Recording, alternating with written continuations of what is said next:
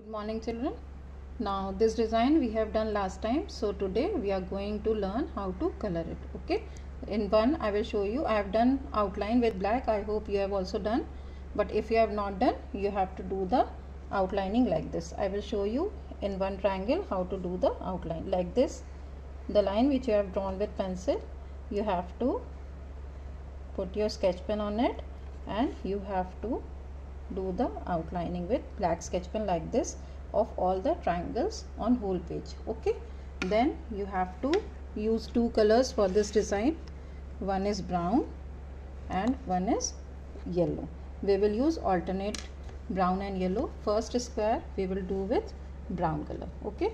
So let's begin and we will do it in one direction slowly so that the color should not go out of the triangle okay?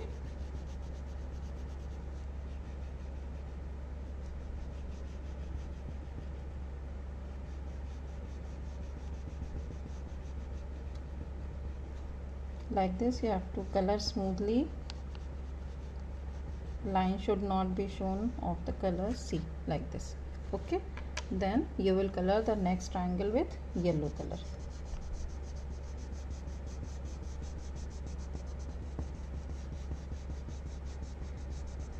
like this then again brown. So you have to use two colors alternate one brown one yellow. Okay? Like this you will color the whole page. All the triangles you have to color in the similar manner like this. Now next one will be yellow. I hope you have understood. Now I'll show you in the next line also what you have to do next line also you will begin with brown okay? This first one is brown so we will do this also brown. Again you will color your brown and then yellow okay? Then again brown and then again yellow. Like this alternate you have to color okay? I hope you have understood. Finish this drawing and I will teach you next one in the next class. Okay. Thank you. Have a nice day.